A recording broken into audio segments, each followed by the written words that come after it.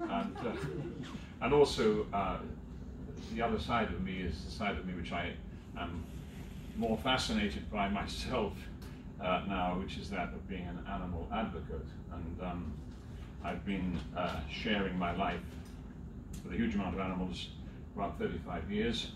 And uh, I'm attached to an enormous amount of charities. Uh, I think I became known a couple of years ago as the man who can't say no.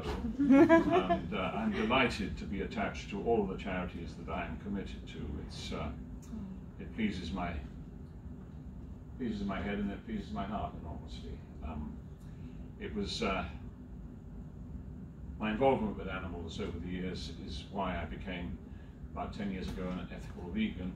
Um, I couldn't quite separate uh, my my love of animals and then eat. So I am delighted to be uh, an ethical vegan and I'm delighted to be here this evening. So if I could, I'll just give you a quick summary about this wonderful book. Um, here's a quote from Professor Marc Bekoff, who's an amazing man. A new book about numerous aspects of animal welfare merits worldwide attention, which of course it does. Combining the expertise of 50 authors, many of whom are world leaders in their fields, and edited by the University of Winchester Centre for Animal Welfare, Professor Andrew Knight and Paula Sparks, the Routledge Handbook of Animal Welfare comprehensively covers animal welfare concerns associated with the farming of terrestrial species and fish, transportation, slaughter, the use of animals in laboratories, zoos, entertainment, and as companions, working animals, and more.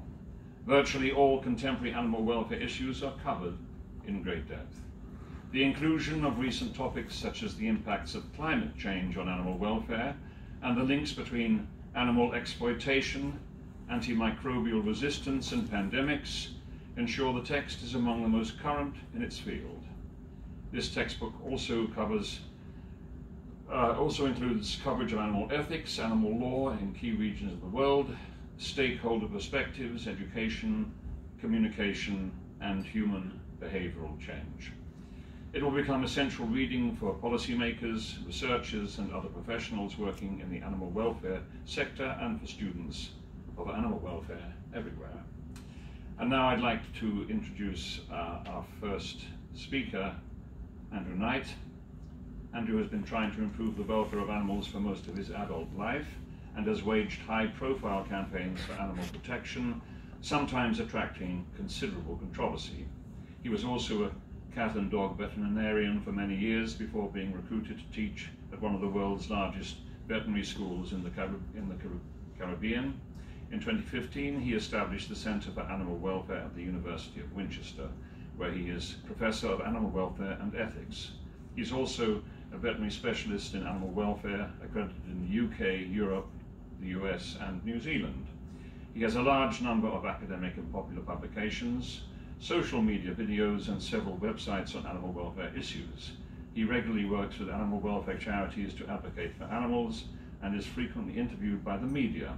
He's received over 20 awards and research grants for this work and is the lead editor of the Routledge Handbook of Animal Welfare. I should also point out, just before he comes up, he's sitting here, which would be a great pleasure to bring up. He also stood for Parliament against uh, Theresa May about four years ago, and I'm very happy.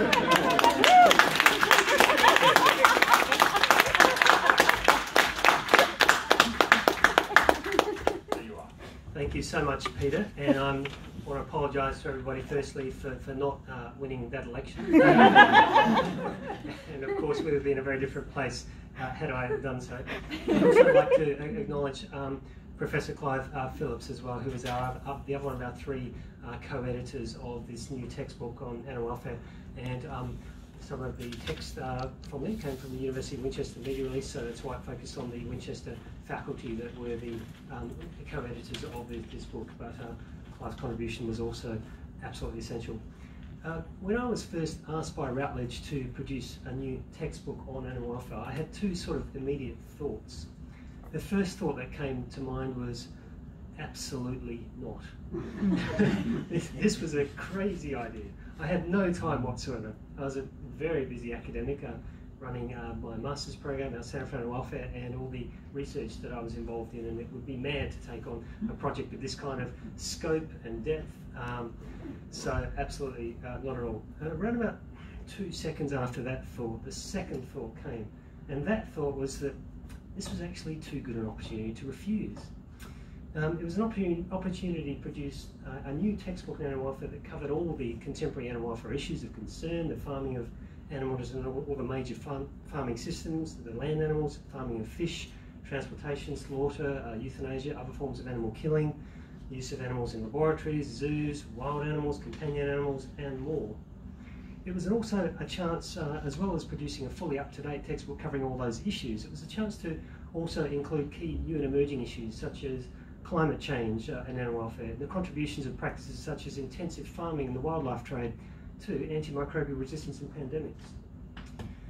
Secondly, there were numerous books about animal welfare that had been published over the last 15 or so years. However, I felt that most of them were either insufficiently based on scientific evidence, which weakened their uh, credibility, or else those, typically with a strong scientific basis, seem quite often to fall short of seriously critiquing animal use practices. Calls for abolition or wholesale reform uh, usually seem to be lacking, even when well justified by the scientific evidence. I thought that here was an opportunity to produce a textbook that had the courage to make those calls when warranted by the evidence and to be underpinned by a very strong scientific evidence base, ensuring that its conclusions were robust and would be taken seriously by stakeholders in government, in industry, and in academia. By achieving these objectives, this new textbook I thought could become a key resource for animal welfare campaigners and animal advocates globally. And we wanted to also include to help those people key related topics. So uh, around about a third of the textbook is dedicated to animal ethics, coverage of animal law in major regions of the world, uh, and topics such as uh, different stakeholder perspectives, communication and education about animal welfare, and also the key topic of human behavioural change. And so I went back to Routledge and I said, I felt there was great potential for a textbook in this area that would make a real contribution to advancing this field. But unfortunately, I had no time to actually do this. But they had this brilliant idea. That's when they said, said well, how about you recruit a couple of willing co-editors? And that's when um, I was incredibly fortunate to be able to rope in uh, Professors uh, Clive Phillips and Paula Sparks. And I could not have wished for two more knowledgeable people in terms of the depth of um, their detailed knowledge of the issues and also the breadth of the issues that they covered, as well as uh, professional, hardworking and reliable colleagues. Uh, Professor Sparks, as well as uh, managing the entire section on uh, animal law and uh, other related sections of the textbook, at the same time ran the UK Centre for Animal Law and also organised one of the world's biggest conferences on animal law in recent years, and that conference recently occurred whilst also doing his textbook. Professor Clive Phillips uh, held a variety of uh, leadership positions on uh, key governmental bodies, uh, professorial positions uh, at, in Australia and internationally, whilst also managing this textbook, also managing quite a busy travel schedule. At one point, uh, seemed to require him to stumble out of his caravan in the middle of the Australian outback because he was on a sheep station at the time at night in his pyjamas with his slightly unimpressed wife looking on somewhere in the background, uh, with the starry Australian skies above his head, to take a Zoom call with me in the United Kingdom in daytime to discuss the book. Such was Clive's dedication to this book. So, a more dedicated and professional and knowledgeable and expert pair of co-editors I could not have wished for our first task was to go ahead and recruit uh, authors to actually write uh, what ended up being 36 chapters covering all the animal welfare issues, uh, animal law and key regions of the world and other key related topics. We managed in the end to recruit 50 um, uh, authors of the 36 chapters, some with more than one author, uh, from around the world, many of who were actually world leaders in their fields. So that was really fantastic. But the problem, unfortunately, with recruiting people who are world leaders in their fields mm. is that they're also intensely busy. And it's incredibly difficult to actually ask them to take on a project like this. And when I stepped back, I realised that in fact, none of us really had any time to be doing this. None of us as co-editors, none of our authors. This was all just completely mad, frankly. Now, Routledge had given us two years to do this, so I thought, okay, the solution, obviously, is that we're not going to take two years. None of us can afford to be doing this. We're going to knock it off in one year. So I said to all our, our authors, okay, or we said to our authors, you've got six months. And magnificently, our authors generally rose to the challenge and managed to produce these wonderful, detailed, uh, fully up-to-date chapters uh, in six months. In a few cases, we had authors taking a little bit longer, add a few months for the production process, and voila, here we now are, about a year ahead of schedule, actually, with this incredible new textbook on animal welfare that hopefully will be a key resource uh, for animal welfare campaigners, animal advocates, uh, students and scholars of animal welfare industry uh, around the world. I'm really grateful to Routledge uh, for um, putting me under all that pressure, no, for, for, for giving me the opportunity to produce uh, this wonderful new textbook and to market it through their worldwide distribution so I can get to all these people that will make such good use of it. I'm incredibly grateful to my uh, co-editors and all the chapter authors, some of who are here today, without which this would have been uh, completely impossible to produce and certainly in this time frame.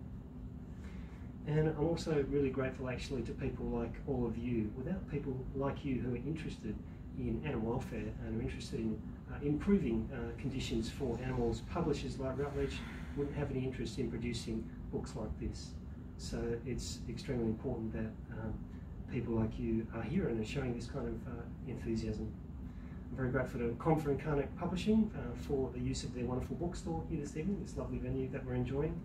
Uh, I hope that after these talks are over, you'll continue to enjoy it with us out, out in the front uh, as we continue to mingle and enjoy the lovely um, uh, drinks and, and, so on.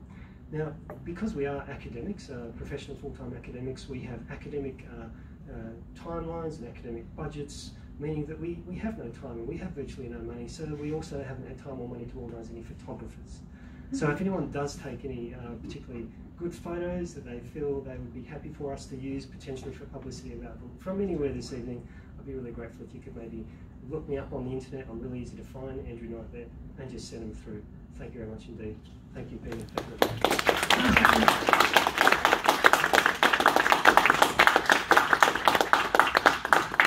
Thank you, Andrew, very much. And I, I hope if you get time in about a year and a half to take a bit of a sabbatical, you can stand again inside the Rishi Sunak on all his trust.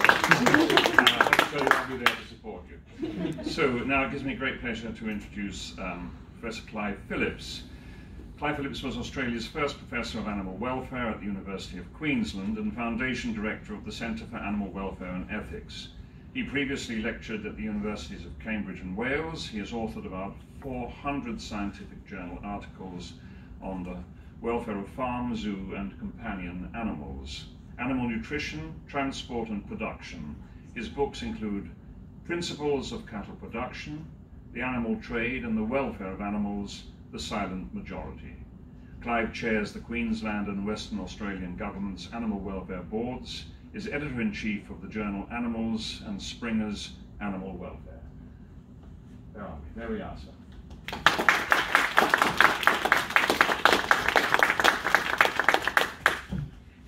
Much. Thank you.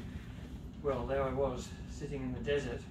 Andrew was trying to uh, instruct me how to um, upload some articles into the Google repository, and kept um, the signal kept being lost every few minutes. And eventually, I realised it was just when the satellite was going over, I'd pick up the signal again. Um, we got there in the end, but uh, uh, he was very long suffering. we got there. Um, Yes, I was responsible for organising the chapters on farm animals. And for me, this is a particularly vital sector of our interactions with animals. Um, it's got a huge and growing number of animals. That is one of the main reasons. The number of chickens worldwide has increased from 14 to 25 billion animals just over the last 25 years. So an enormous increase, and that is about 10% of all the birds which exist worldwide. Um, there are various estimates, but and, and, that's a conservative estimate. But the other reason why I was keen to take on the farm animals is because there is so much cruelty on farms, widespread cruelty eh, on many, and, and one could probably say most animal farms. We all know animals are crammed into small spaces, they have relatively little comfort, um, and they have to endure their bodies being mutilated just so that they can uh, fit into the systems that we have for them to grow and grow fast enough to satisfy our growing appetite for eating them. And this does have major effects on their welfare. Um, the farm animal production process has become, over the last quarter century or so, dominated by big industry. We all know that. Um, and their primary responsibility is either to their owners and their shareholders. Indeed, when I was on the cattle farm, uh, it was actually in the north of Australia, um, my daughter and her partner, they run that farm. It's 20,000 cattle uh, running on a farm, call it a station, the size of Worcestershire. So it's a massive organisation and it's funded by a Chinese businessman. Um, they, they, pipe water out into the desert so the cattle have got something to drink. Uh, they put roads in so they can get the cattle out and then they ship them to China. That's the sort of uh, development that the industry has taken over the last uh, uh few decades. I've also been in cattle farms in China which have 30,000 animals in them. You know, these are massive operations. And in those operations, um, the industry that are running them, they're forced by international competition to develop systems of production that have greater and greater output from fewer and fewer resources. Less space for the animals, less food, and less comfort for them. Whereas the norm for the number of animals in these production units was just a few hundred a quarter of a century ago, um, it may not now be numbered in tens of thousands. As well, the animal's genetics are manipulated to increase growth rates and milk yields to levels that are way beyond that for which nature designed the animals. The end result is that, cat, that cows will only last two or three years in a dairy herd, when their natural lifespan would be about 25 years. Chickens are grown to slaughter weight in just around six weeks, and pigs are killed to make bacon at about six months of age. So all farm animals die prematurely, but for many it ends a life of pain and misery. When the animals for meat are ready for slaughter, we transport them often long distances in crowded conditions, a process which is known to cause significant stress. The slaughter process may also make their final hours painful and stressful because not all animals are stunned before their final end. For some animals, such as poultry, the whole post-farm process may only last a few hours, but for others, such as the sheep travelling from Australia to the Middle East, it will be many weeks. Now, fortunately, there are scientists around the world that are dedicated to understanding how these processes affect the farm animals. Most, um, but unfortunately not all, are given to an impartial assessment of their welfare. It's not easy. The evidence has to be carefully analysed from the animal's behaviour, physiology, gene expression, the animal's longevity and their disease status. And the contributors for the farm animal sector for this book were very carefully chosen for the extent of their experience and their integrity in reporting scientific results. Some of you are even here. We have Don Broom in the front uh, from Cambridge who contributed one of the chapters to my sector. So hopefully you can read the book yourself and decide if it is an acceptable way for humanity to treat the farm animals on our planet. Thank you very much.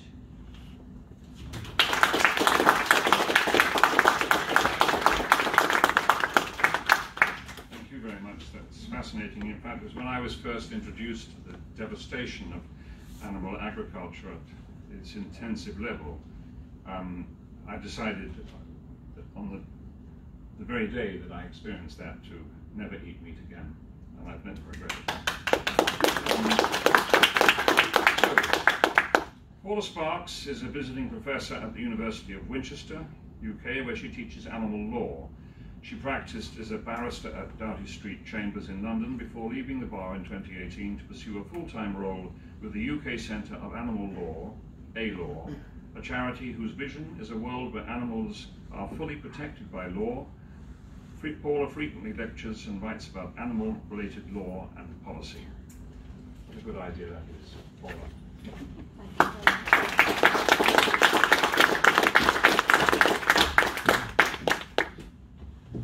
Hello, and thank you everyone. I'm going to be really brief today. Um, any nerves that I may have had have now been done by the beautiful doggy here.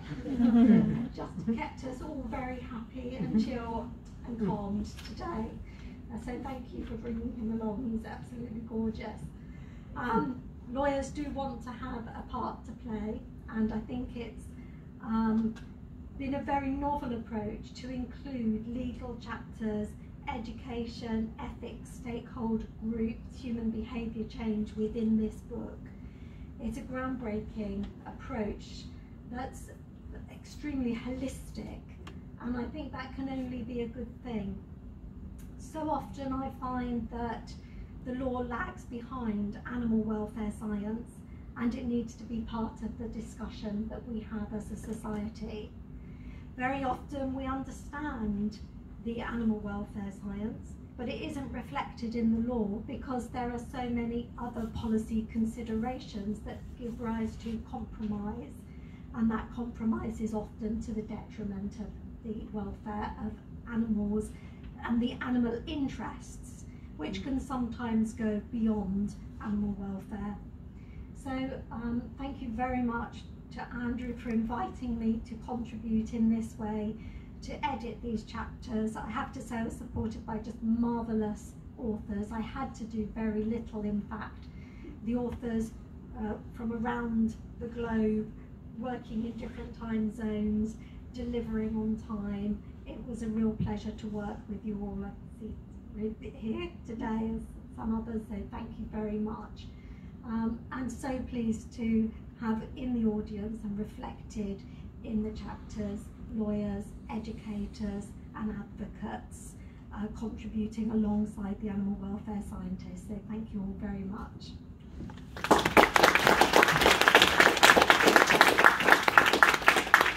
Thank you. Um, it, I mean, it is wonderful, isn't it, to draw all of these strands together because um, the only way to actually uh, change what's happening um, in the animal world and indeed our planet is by addressing it from all of these different areas. Um, and I'm so delighted that we can do that. And this book is fantastic as far as that's concerned. If I could just do a quick name check for someone who is also um, very inspiring, a man um, who has written the most fantastic book. Um, I'm not pushing that tonight, but I, I, I, I, would just like to mention it. It's a book called 60 Harvests Left, and it's mm. the amazing Philip Lymbery who is here tonight. And, um, alongside this book, buy this book tonight, buy 60 Harvests tomorrow. This is an absolutely sensational read. Now, it gives me great pleasure to introduce a very, very good friend of mine who I do an awful lot of campaigning with. We've been working together, I think, for certainly over 10 years. Um, we managed to man manacle him and drag him away from Brighton Beach today. His name is Dr. Marc Abraham, or Marc the Vet, as he's often known. He's a multi-award winning veterinary surgeon, author, broadcaster, and campaigns extensively for animal welfare issues in the UK, Europe, and the US. He is Secretariat and co-founder of the All-Party Parliamentary Dog Advisory Welfare Group, APDAWG, in Westminster. I'm the patron. Um, in June 2019, after a 10-year campaign led by Marc, the UK government passed Lucy's Law, banning third-party commercial puppy and kitten dealers making all dog and cat breeders accountable. Based in Brighton, Marc regularly visits local schools, chatting with pupils about caring for animals and each other. Marc's latest book, Be More Mosquito How You Can Campaign and Create Change, describes all the tools accessible to everyone and anyone to help them make a difference and positively change the world. Earlier this year, Marc received, very much deserved, an OBE for his services to animal welfare.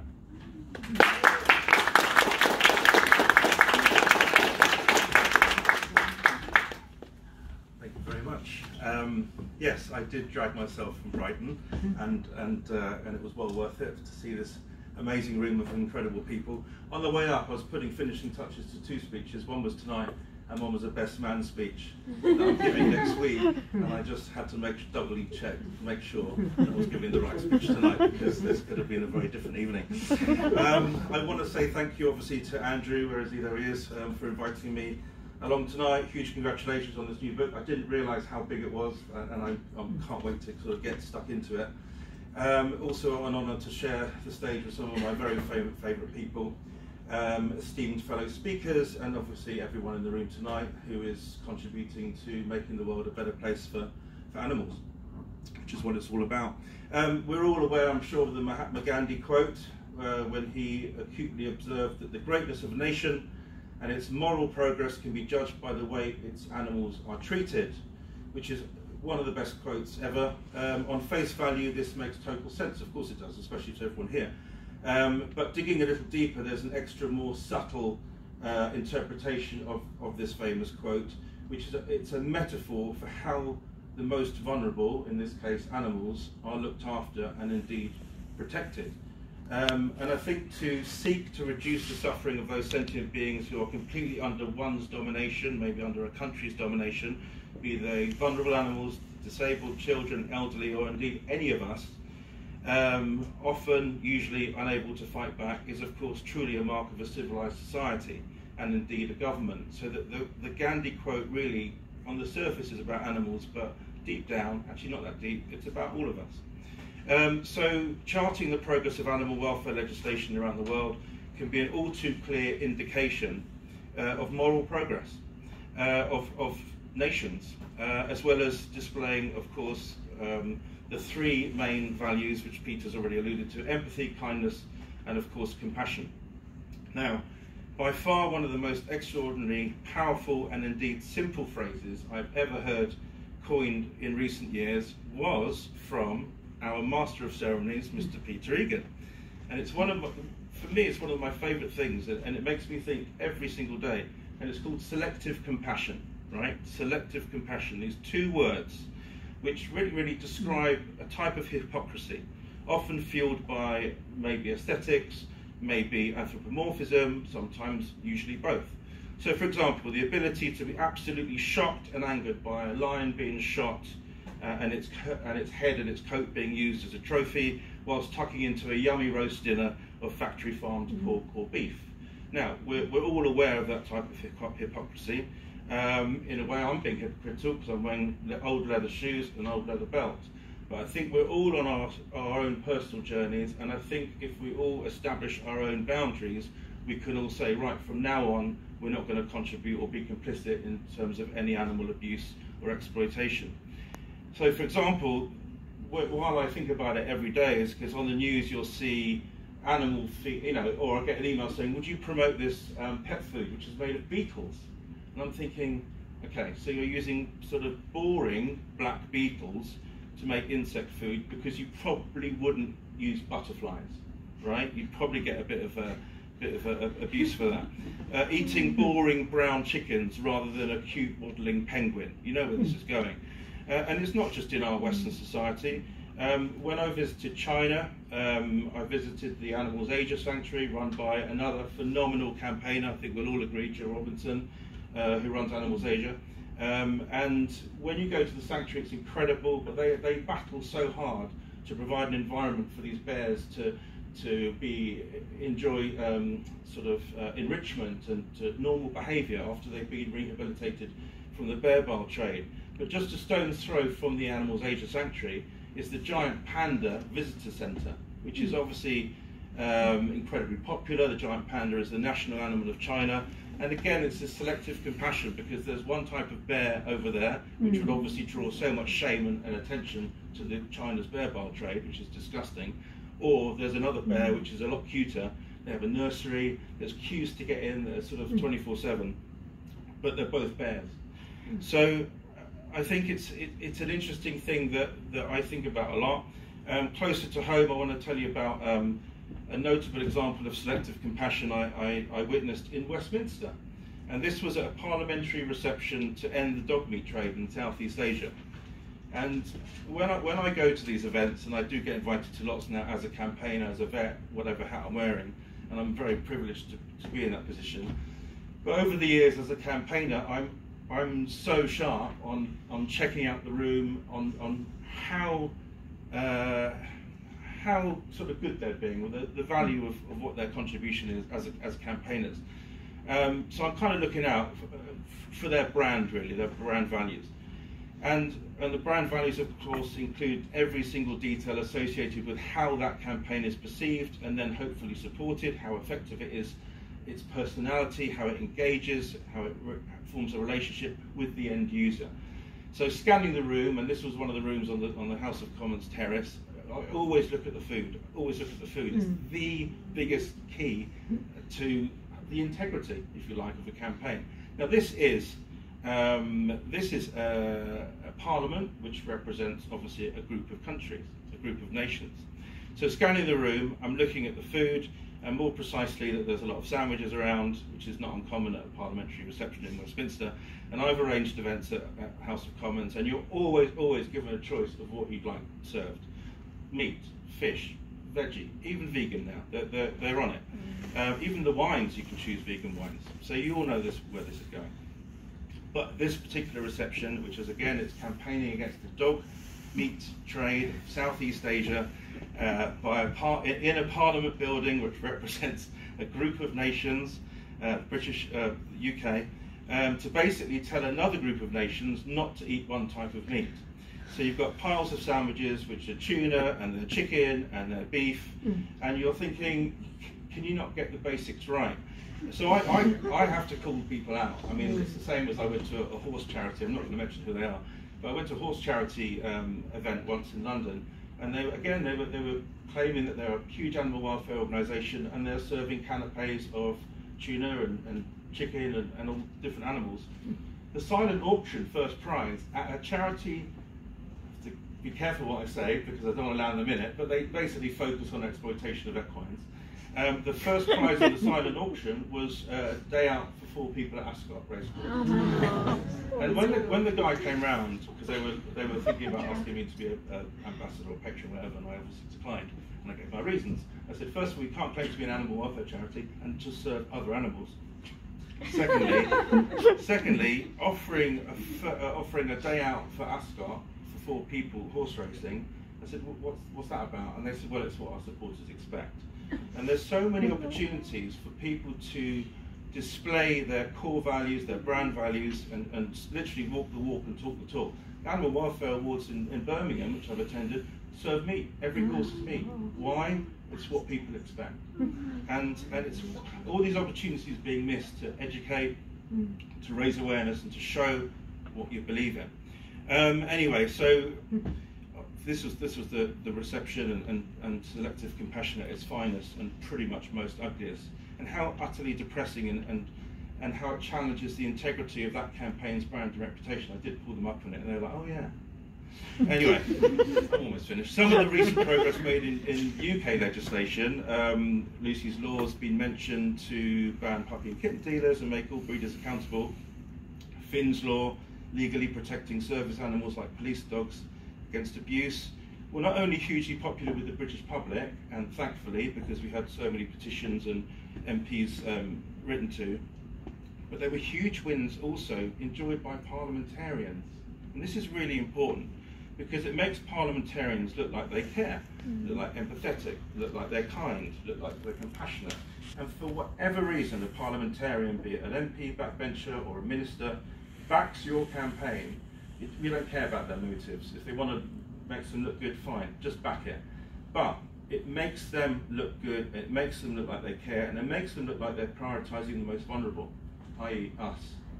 And that's really important message for, for us as a, an electorate, as the people who are going to be voting them in or out at the next general election. So I think my point is the best hope for further progress lies in exposing and calling out exploitation and abuse of the most vulnerable making animal welfare become, just like human rights, an international issue that affects countries' reputations, the brand of a country's reputation, um, if you like.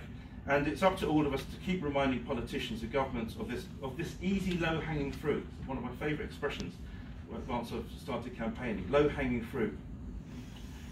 You know, banning the import of fur, foie gras, banning cages for laying hens, hunting trophies, banning live cattle and sheep exports, banning greyhound racing, banning, banning puppy smuggling. A lot of these, obviously, including the primates as pets, are in the Kept Animals Bill, which most of us know has been stalled in Westminster.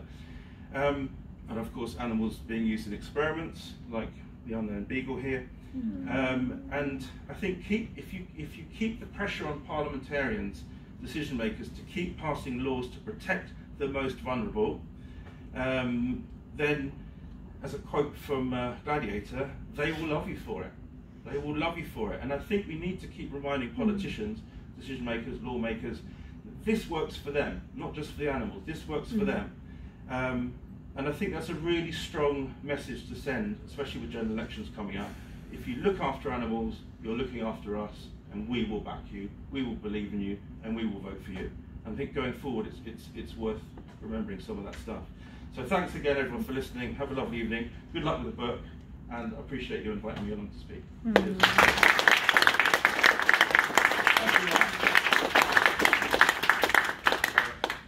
It's very clear that it's a huge subject. That's why this book is so absolutely necessary. Um, I mean, in terms of the old shoes, Marc, um, when I, when, when I uh, decided to give up eating meat, um, I was talking to my wife about it in front of one of my seven dogs about 15 years ago. And uh, that very evening, this one dog, Titus, um, found some of my leather shoes and started to chew them. so that set me on the right path, and I found I found Will's Vegan and Eco Vegan. Uh, Will's Vegan shoes.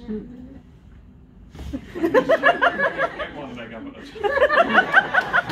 the Most comfortable shoes I've ever worn, and of course, um, eco-vegan belt. So there you are, Mike. so um, now I'm going to invite, before I knock this over, I'm going to invite all of our speakers up onto the stage. Um, if you have any questions, that would be wonderful, and I will. Can ask them through me. I'll pass them on, or you can ask them directly to any of our wonderful speakers. And thank you all for coming this evening. We've got about 15 minutes of questions, so if you wouldn't mind um, asking them as quickly as you can. We'll see if we can get them answered. At the back, gentlemen.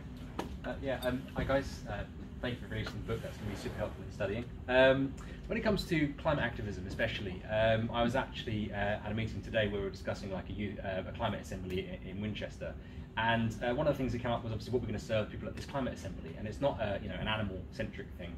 And we said, well, obviously we'll have uh, you know some sandwiches and you know um, teas and coffees. I said, oh yeah, obviously plant-based sandwiches and alternative milks. Oh, well, that might not be good with the participants. How do you overcome that sort of immediate hit back of we need to have this kind of move towards uh, climate agenda, but obviously then not talking about the you know the cow in the room really. I think Clive, you'd be, you'd be good to answer that. I'm not sure why, but uh, thank you. Um, well my philosophy is if people want to eat meat, that's fine. Um, I'm happy to serve them meat. We have friends around for dinner. I always say to them, you know, do you want us to cook your meat? And we will, and we do uh, occasionally. But most of them will say, no, I'll, I'll eat the vegetarian food you're going to eat. Um, and so, in a situation like that, I would actually make meat available, and if people want to eat it, that's up to them. Anyone else like to comment on that? Mm. So I'd probably turn the situation and almost repackage it as into an opportunity to educate and explain why. And I think once you've done that, it's very hard for people to, to be critical of that. I think every communication along those lines just has to be positive and justified. And if you say we're doing this because of this, and then people will, you know, experience vegan food maybe, or, or then I think you're you're turning it into a positive experience for the end user. I think as soon as you go, we're going to do this, or just deal with it, or this is how it is, you put people's backs up. But I think as as long as everything's carefully explained, justified, and maybe even take them out for a vegan meal to sort of get it, um, I, I just think progress can be made. I, I do get your point though, by the way, but I just think, uh, especially with climate change, that has has to be the way forward. It's always good, isn't it? Clearly, it's always good to have the conversation, basically. Mm-hmm. And we know that we're not going to turn the world vegan in my lifetime certainly, but we can keep the conversation going, and the conversation is happening more and more uh, as we go along, and I think it's a great point to make. And, uh, next question. Yes, I've got a question for Andrew. Could you please speak up? I have a question for Andrew. Yeah. So when the Queen dissolves Parliament, as I'm sure she will with this debacle that's going on at the moment, what is your first act going to be as Prime Minister? and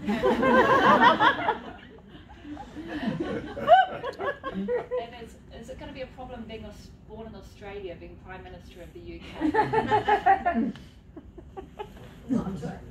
Go for it. All right, uh, thank you for that question. Did everyone hear that? Well. Yes, uh, first act as Prime Minister. Uh, I, can I? Is can this be like one of our Winchester um, project assessments where we have all these different elements that are included within a single project? There's so many things I'd love to do. You know, oh, crikey. Um, I, I, guess I would obviously want to put animal welfare on the curriculum uh, throughout uh, the schools and universities where it doesn't already exist of the nation because it has benefits not just for animals, which are very much part of our societies, although we often do tend to forget that, but they're the most neglected parts of our societies, but also because this benefits people uh, and the environment in so many ways as well. We have a chapter in this book all about the links between uh, human health and animal welfare uh, and the one welfare uh, issue. Um, and also we have a chapter about uh, human wildlife conflict, climate change, biodiversity loss, going into some detail about the adverse impacts unfortunately caused to uh, the environment and to the climate by uh, increasing intensification expansion expansion of animal farming actually so um, there are benefits to the environment, the ecosystem we all depend upon uh, for uh, human uh, beings and, and, their health and well-being, and of course for animals, which are very much part of our society. So it would have to go on the uh, national curriculum. Look, there are many other things I would certainly do as well, um, and I uh, will um, defer to my other speakers uh, because of lack of time, but I can't because the question was directed to me. Would anyone else like, to, like to, to, add anything to that they'd like to see on the national, well, the changes? Just to say, I've got a meeting in Westminster about getting animal welfare on the national curriculum in September. Oh. Fantastic, well done. As, as, Peter mentioned in my intro, I do loads of school visits every two weeks, schools in Brighton and around Brighton for different, yeah, different ages. And post-pandemic, I've changed the school visit to caring about animals to uh, from caring about animals to caring about animals and caring for each other. So it's mm-hmm. spotting signs that animals are ill, and now it's spotting signs that your family members are ill, or your friends are ill, or your teacher's ill. And it's a really nice sort of holistic approach. So it's pets, wildlife, um, and, and, we do touch on euthanasia and, and brachycephalic um, breed problems as well, depending on their age. But actually, to go from caring for animals and caring for each other and just basing the whole thing on empathy, compassion, and kindness it kind of brings it all together. Um, and it's, it's just such a natural link that I never spotted before the pandemic, weirdly. Mm. So yeah, the, there is progress being made in Westminster, and I'll keep you updated. Right, that's wonderful. And we have Ruth DeVere here, who's our education author, who is the expert in this area and had just did an absolutely fantastic chapter and a brilliant presentation at our last conference on this. So thank you, Ruth. And anyone who wants to discuss later, Marc, yeah, it's that. Lovely. Oops, I'm just going to dance for this. I have a question about um, animal law uh, in the UK, because there's very few cases I'm, I'm aware of involve animal cruelty, which is a baseline almost. Of course, we have had a bit of um, um, sentience. Uh, I was wondering, it's a dual question, I was wondering if you see this as making any practical difference really beyond the headlines and beyond lobsters in restaurants. Um, and also the second one is, um, uh, I don't know if you're aware of, but there was a case, the case of uh, recognizing elephant sentience, uh, the case of Lucy in the Bronx Zoo in New York. And uh, sorry, sorry, Happy, because Lucy is in Edmonton Zoo. Um, Happy in the Bronx, where um, a legal team, a non-human rights project, brought the case to recognize that she's an autonomous being and has a right to basic freedoms. I was wondering if you see a future um, of similar cases being brought in the UK? Um,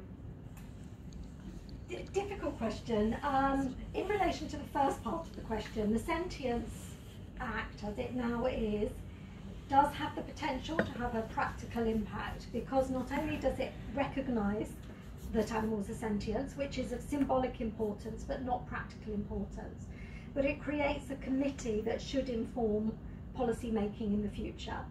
How well that does its job is going to be judged further down the line. It has the potential and it's really good and that signalling that Marc talked about in Parliament is really good. We had um, it was introduced by Lord Benyon as something that we should be proud of, that we should as a nation be proud of animal welfare and so that's, that's very good signalling.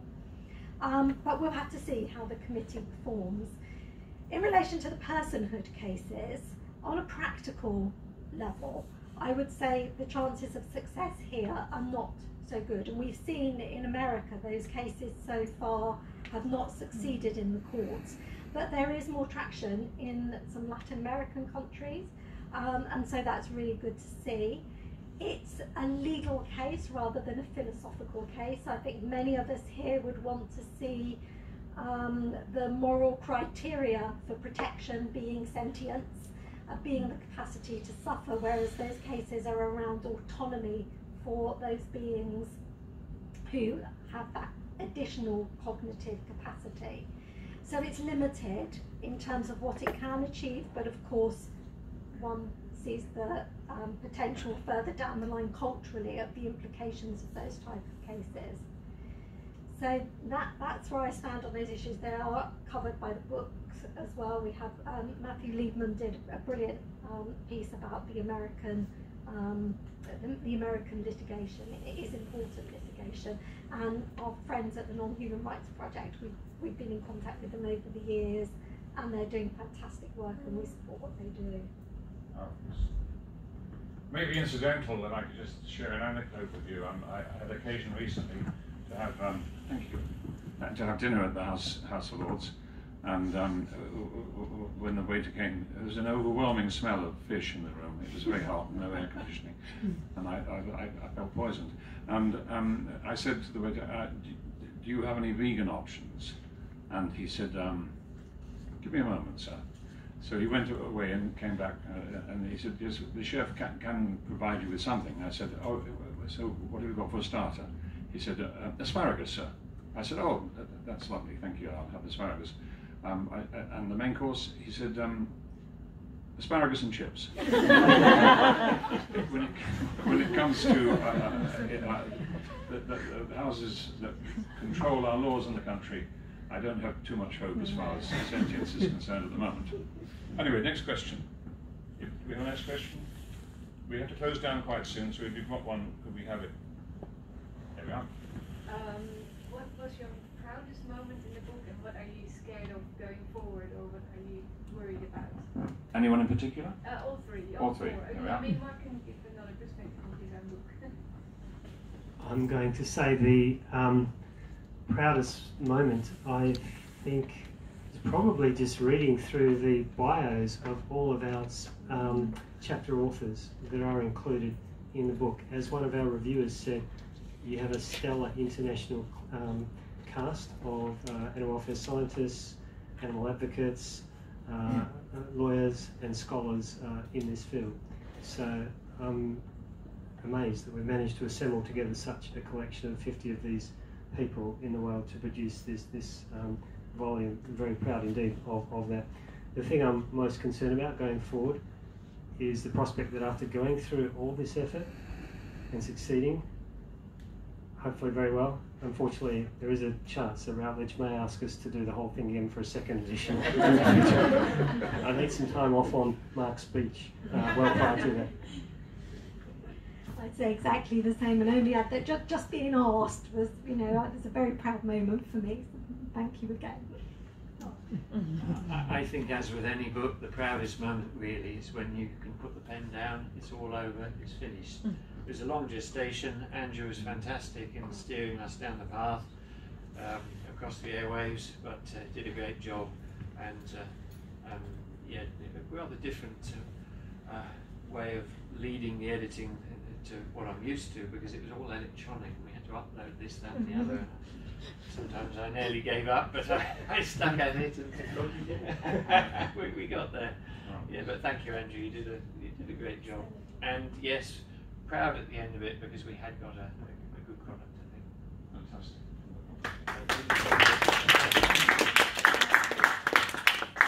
Anything, any more questions? That's it. Okay. Well, um, I'd just like to thank Before we end, I've just got a small something I would like to Rishi. Sunak. I'd actually like to give you, Peter, and my other colleagues on the stage here. So I'm just going to get that.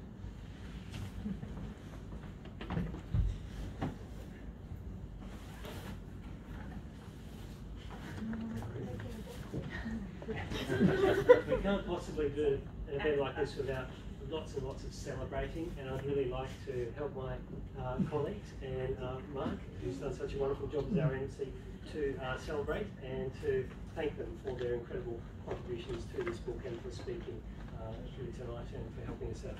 Marc, so uh, thank you very much indeed uh, to everyone. How,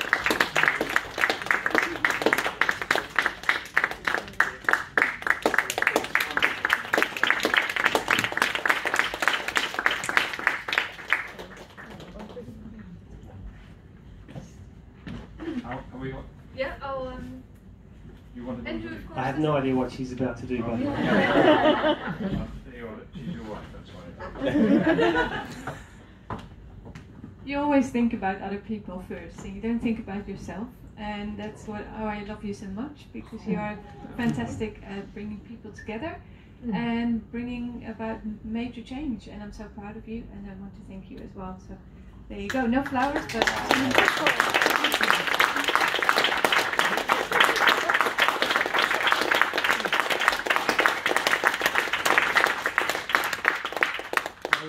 Wife Yasmin is the person who's probably suffered most um, uh, because of uh, this book. All of our friends and families largely lost us for 2021 during this project. Um, and uh, in my case, Yasmin, I think, made the biggest sacrifices. So thank you very much for tolerating uh, the ridiculous long hours and lost weekends uh, working on, on this book. Thank you so much. Bless you.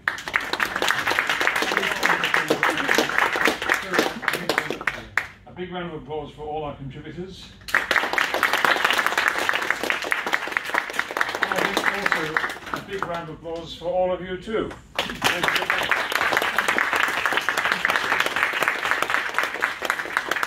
Please uh, do stay, uh, enjoy the refreshments, uh, chat to us more outside in the room out there, and whatever you do, please do take those photographs. If you think there's any good ones, send them through, because otherwise they're not going to happen.